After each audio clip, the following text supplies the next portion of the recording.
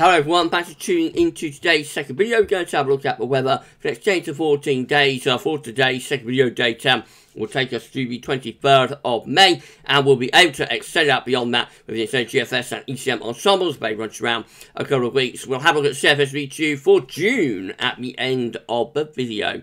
I'll get time back for you in a moment. To say that first video today was our uh, was uh, Jeremy Friday. So uh, please check out that one if you'd like to do that. And thank you so much, everybody. Please like, share, subscribe on the videos. And uh, and thank you so much. Thank you so much um, for doing that. At the end of this video, I'll tell you what's coming up uh, over the weekend. To be an epic weekend of uh, content. So more about that at the end of the video. Before I do anything else, I want to uh, give a shout out to uh, a couple of people who've given us more super thanks. So uh, thank you so much to Katrine, to Katrine Baso uh, for the super thanks.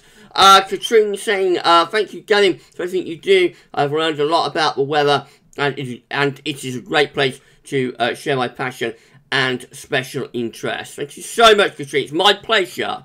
It's been my pleasure to be doing this uh, with Gaz Webbers, you know, for the past decade or so. So no, no problem whatsoever. Thank you so much, Katrine. I'm so pleased that you are enjoying uh, the content, and enjoying learning about the weather, you know, uh, on the channel. Thank you so much, Katrine. Also for your uh, donation as well, and also to Francetta, who said thanks. Thank you so much for the uh, donation for the uh, you know super thanks uh, and comment to to Fran Setta. So thanks to Katrine. Thank you to Fran Setta. Um, amazing, incredible. If you'd like to uh, give a donation to Gaz Weather through Thanks, all you need to do is click the thanks button that is underneath all of the videos here on the channel now.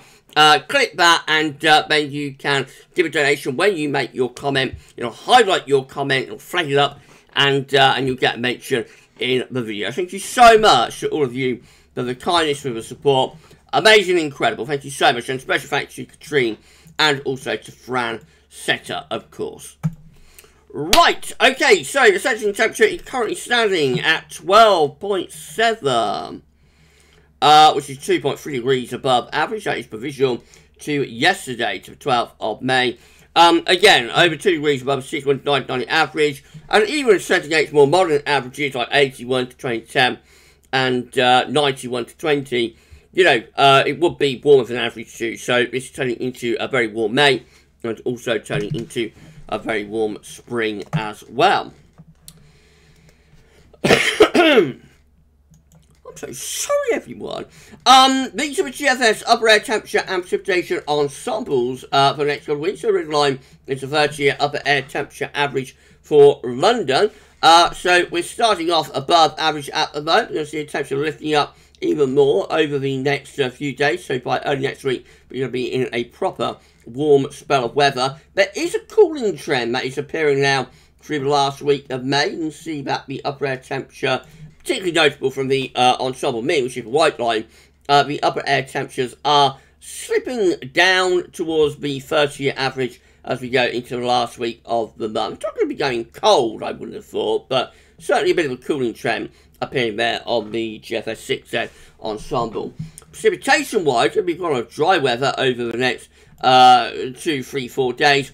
And then beyond that, we'll start to turn more unsettled. So I've been talking about this a lot in videos lately. Uh, it looks like next week not only will be quite warm, maybe even very warm, but also quite unstable. There will be volatility, which could lead to showers, longer spells rain, and maybe you wouldn't rule it out risk of some thunderstorms uh, as well. We'll know a little bit more about that in a few days' time, just what the storm potential is uh, for for next week. But um, but yeah, warm and volatile next week, I remember last week of May might start turning cooler. Still, it's a little bit on the changeable side.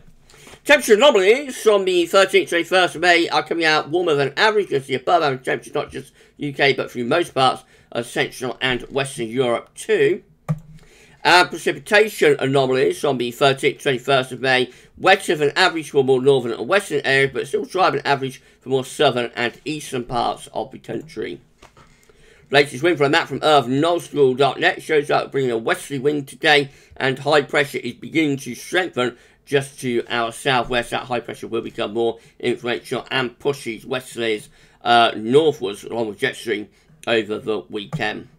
Right, so so UK Met Euro is looking uh, for Monday. So high pressure by them is up towards the uh, north in the Norwegian Sea. Low pressure coming in off the Atlantic. It's a trough moving in from the south and from the southwest. That might deliver some heavy rain, maybe a bit of thunder uh, on Sunday afternoon and Sunday evening. Into the middle next week, we've got high pressure into our east, low pressure out to west, drawing up this southerly wind. That looks very warm and unstable. And uh, right way up to the end next week, which is far as we get to if you can make Euro, gets us to uh, Friday, 20th of May. We've got uh, high pressure again, just to our south and southeast. Lower pressure is away to the north and northwest. It implies a dry east weather, but not completely dry weather, will be in the southeast corner. The wettest weather will be in the north and west. GFS midnight run again shows that trough drifting northwards. Uh, on uh, Sunday into Monday. The southerly wind, but more unsettled with the GFS midnight run uh, so uh, on Wednesday, midnight Wednesday, bringing this trough in from off the Atlantic back to Welbring showers or longer swells, rain, particularly to more northern and western areas. We're into southwesterly wind then as we go through into uh, Thursday and Friday next week, and then high pressure starts to reach back up from the south once again. Into weekend of 21st, 22nd of May, the high pressure dominates weather but situated just to our west, bringing something a little bit cooler and fresher around that high pressure from uh, the north. That takes up to day 10 as well. And then a high pressure really strengthening across the country in the range of the Jeffers midnight run. Strong ridge of high pressure will bring lots of dry, fine, and warm weather into the last week of uh, of May. The closing days of the month, though, this gets us to Sunday, uh, 29th of May. But the closing days of the month takes high pressure back out into the Atlantic and pulls in this cooler and rather showery northwesterly wind once you get uh, this hour six days looking at this very latest GFS run again. It's sharp pushing northeastwards on Sunday into Monday. Could bring some rain, maybe a bit of thunder into the south. And then through the early to middle part of next week, low pressure out in the Atlantic is the dominating factor, bringing rain into the north and west and south east corner. Probably mostly dry and quite warm, but the GFS output is significantly more unsettled and not as warm as like the UK Met Euro uh, run was showing. Uh, that's how we're looking to get to the end of next week. So low pressure to the north and some showery weather into Scotland, mainly dry though, I would have thought down in the south. And then moving up towards day 10, which of high pressure sort of centres out to our west. And we pull in this cooler northerly wind. The extended range keeps that high pressure centre to west, so lots of dry weather, but rather cool as the wind comes around that high pressure uh, in a clockwise fashion. So coming around the high pressure from like a northerly direction. Nevertheless, you know, it is um, late May, sunny very strong, so when the sun's out it will feel pleasantly warm, but certainly not like a heatwave type pattern there.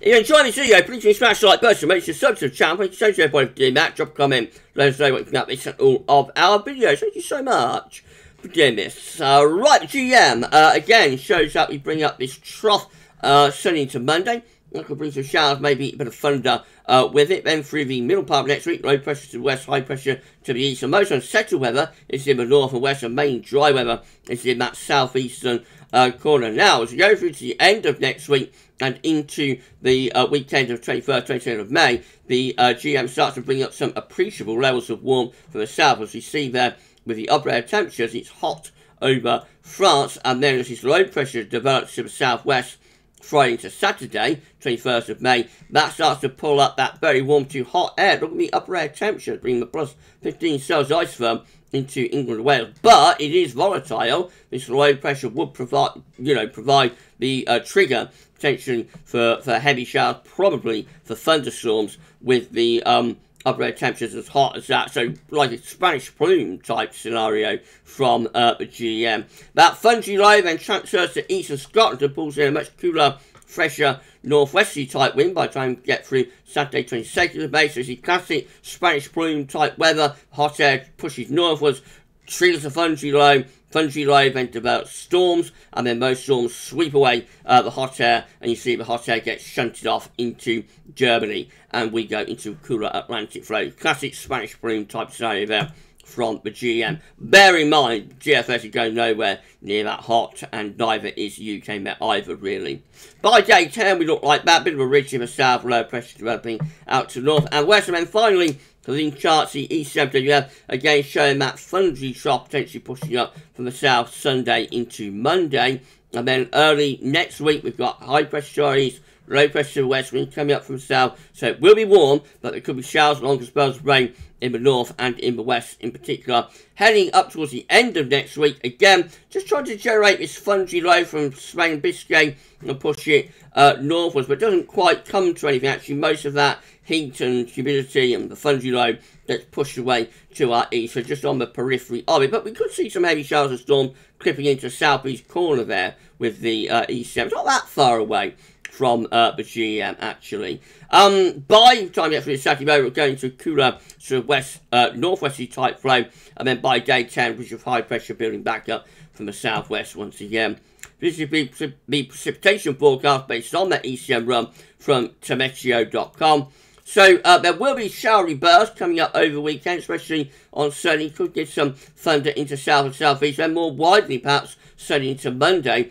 Quite a lot of wet weather piling up from the south. That could be heavy rain, you know, longer spells of rain, outbreaks of rain, or it could be heavy showers and thunderstorms. We'll know a little bit more closer to the time frame. And all that wet weather trundles north through the early part of next week, and then we've got more wet weather, this time particularly in the north and west, by the middle of next week. Some storms breaking out in that southeast corner too. More storms uh, clipping into southeast as we get through to the second half of next week, potentially too.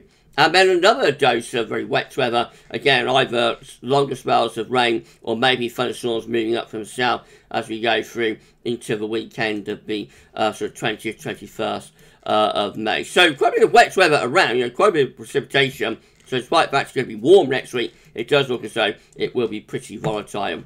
These are the options on the table within the ECM ensemble today for day 10, which will get us to the 23rd of May. 17 members of the ECM ensemble have low pressure to the north and high pressure will be uh, ridging up from the south, from the southwest. Driest weather, therefore, will be in the south. Uh, uh, 13 will have high pressure to our west, low pressure to our east. That's bringing in like a cooler northwesterly type flow. Uh, 11 with high pressure reaching up to southwest, but uh, weaker pressure to the north and northwest, and then 10, including the control and the operational run, have a stronger ridge from the Azores. So actually, that idea of high pressure ridging in from the southwest around day 10, not that well supported by the ECM ensembles actually. So it may be a little bit more unsettled, a little bit more unsettled than that at uh, day 10. We'll have to see. Uh, lastly, 732 for June. So these are 500 millibar heights breaks down into uh, no, what I'm talking about. Uh, lastly, 732 uh, forecasted June. This is 700 millibar height anomaly uh, for June. I'm still getting back into the swing of things after having that month off, I think. Um, so yeah, this is a 700 millibar height anomaly for June from the 732 today. And we we've got an area of above average heights over and to the east of the country, low pressure in the Atlantic. So this would be a, a, a settled, high pressure dominated scenario for June. Also, potentially a very warm or even a hot scenario with winds coming up from a southerly direction. Look at the temperature anomaly, it's looking quite hot in those red colours there, not just the UK, but through most parts of uh, Western Europe. So a hot June, a flaming June even, coming up and uh, precipitation normally show no signal, but you would expect with high pressure dominating over to the eastern country, quite a dry signal. Um, June, we'll have to see about that. Right, if you've enjoyed the video, please can you smash that like button, make sure you subscribe to our channel, thank you so much for doing that, drop a comment, let us know about this and all of our videos, and don't forget to tell your friends to subscribe as well. Amazing, incredible, thank you so much everybody uh, for doing that. We are on the grind to 14,000 subscribers. I think to take us to the end of the year to get to that, probably. Um, but uh, the next mini target is like 13.4k. So if you can get us from 13.3 to 13.4k, um, it would be greatly appreciated. Thank you so much, everybody, for doing that. thank you so much to Rich for the uh, subscribe gift. I gift. I love it. Uh, I love that gift. It's given us so many subscribers. Amazing. Thank you so much, Rich. Uh, right, okay, so we're done with today's video. Just tell you what's coming up tomorrow. So uh, we're going to have the EC uh, 42 days slash six weeks weekend. We'll have weekend forecast and a 10 to 14 day. And then on Sunday, it's back. We're going to have Gavs Weather Sunday round for the first time in ages and ages and ages. Um, probably um, February or January. I can't remember last time we did one, but it's a very long time ago. So uh, Gavs Weather Sunday roundup will be returning on Sunday. We'll be looking at things like activity, seaside temperature anomalies, the QBO, the quasi-biennial oscillation, and much, much more uh, as well as that. So, uh, so yeah, big video coming up on Sunday. As again, I keep telling you, we're bringing back more and more of the content that you love. So uh, it's all coming back, and the next thing to get back will be the Sunday roundup, and that will be uh, coming up with you on this Sunday. Right, okay, enjoy the rest of your Friday. We'll see you tomorrow for our videos. Uh, but for this one, that's all for now, and thanks for watching.